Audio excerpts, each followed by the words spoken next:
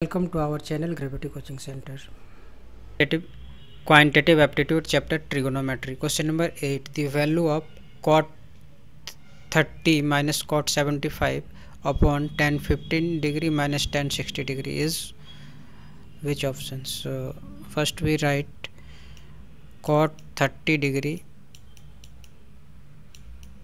minus cot 75 degree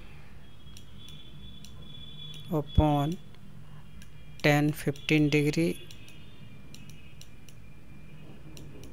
minus tan 60 degree.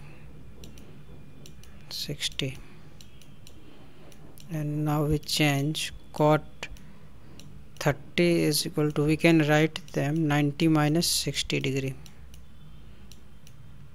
90 minus 60 and cot cot 75 degrees. So 75 we can write them 90 minus 15 minus 15 degree upon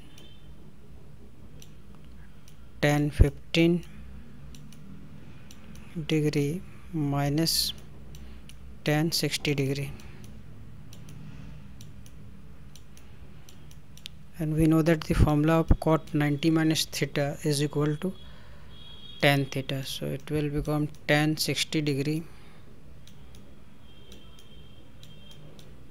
minus tan 15 degree.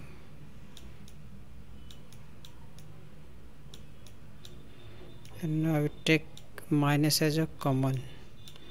So it will become tan 60 degree minus tan 15 degree.